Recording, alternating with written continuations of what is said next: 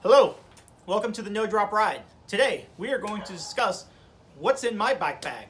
I would love to know in the comments below what is in your bike bag. So, without further ado, my bike bag. Simple bag, wraps around the head tube, sits on the top tube.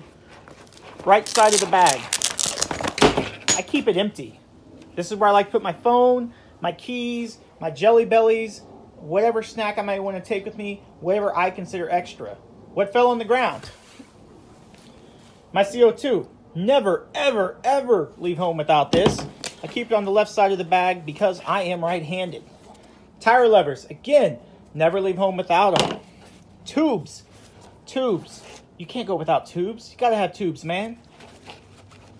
And I have a small set of Allens. That is it for the bike bag. As I said before, please tell me what's in your bike bag. And if you could, subscribe, hit the bell for notifications, and please, please comment below. Thanks for watching the No Drop Ride.